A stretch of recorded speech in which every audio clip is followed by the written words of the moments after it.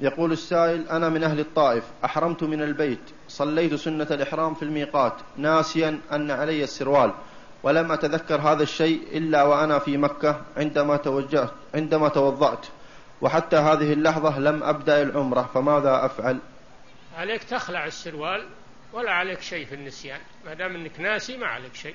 اخلعه إذا تذكرت وفطنت يجب عليك أن تخلعه ولا شيء عليك. أما إن بقي عليك بعد ما ذكرت يكون عليك فدية.